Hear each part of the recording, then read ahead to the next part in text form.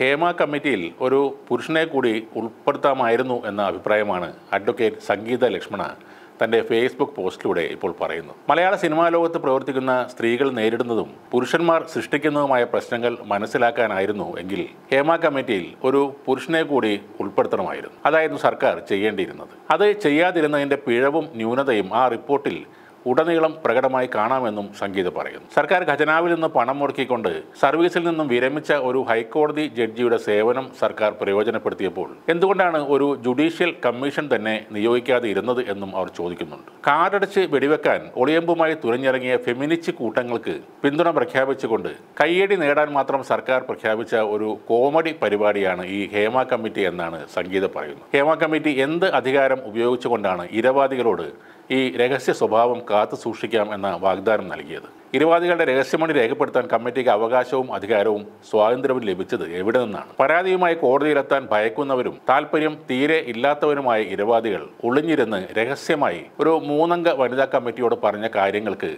നിയമപരമായ എന്ത് സാധുതയാണെന്നും അവർ ചോദിക്കുന്നുണ്ട്. ഇത്തരം ഒളിപ്പരാതികൾ അടിസ്ഥാനമാക്കി കേസെടുത്താൽ തന്നെ പോലീസ് ഏറ്റവും ആദ്യം ചെയ്യേണ്ടത് ഇരവാദിയുടെ മൊഴി രേഖപ്പെടുത്തുക എന്നതാണ്. അതിനുശേഷം മാത്രമാണ് കേസ് അല്പമെങ്കിലും മുന്നോട്ട് നീങ്ങുകയുള്ളൂ. രണ്ടാമത്തെ നടപടി എന്നത് പോലീസ് സമർപ്പിക്കുന്ന അപേക്ഷയിൽ കോടതി പുറപ്പെടുവിക്കുന്ന ഉത്തരവ് പ്രകാരം ഒരു കോമ്പിറ്റന്റ് മജിസ്ട്രേറ്റ് ഇരവാദിയുടെ മൊഴി രേഖപ്പെടുത്തുക എന്നതാണ്.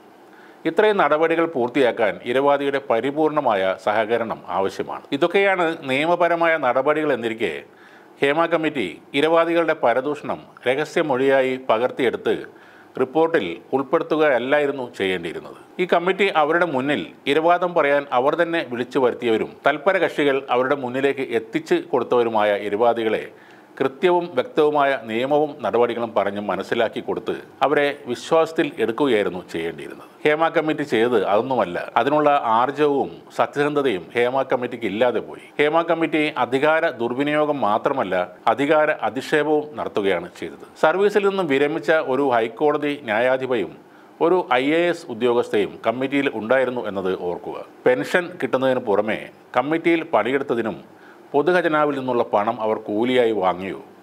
അതോ കമ്മിറ്റിയുടെ ഈ കാലയളവിൽ കിട്ടിയ പെൻഷൻ വേണ്ടെന്ന് വെക്കാൻ അവർ തയ്യാറായിരുന്നു?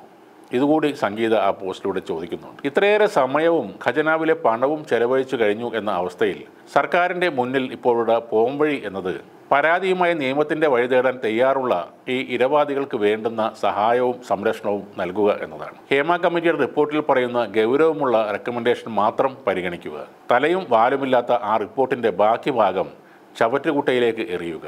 റിപ്പോർട്ടിൽ പറയുന്ന നടപ്പിലാക്കാൻ സാധ്യമല്ലാത്ത കാര്യങ്ങൾ ഏതൊക്കെയെന്നും എന്തുകൊണ്ട് അവ നടപ്പിലാക്കാൻ സാധ്യമല്ല എന്നും പൊതുജനങ്ങൾക്ക് മനസ്സിലാകുന്ന വിധം സർക്കാർ വിശദീകരണം നൽകുക. ഫെമിനിസ്റ്റ് കൂട്ടങ്ങളും ഹേമ കമ്മിറ്റിയും ചേർന്ന് സർക്കാരിനുണ്ടാക്കിയ മാനഹാനിക്കും ധനനഷ്ടത്തിനുമുണ്ടായ പോംവഴി ഇത് മാത്രമാണ് എന്നാണ് സംഗീത ലക്ഷ്മണ പറയുന്നത്.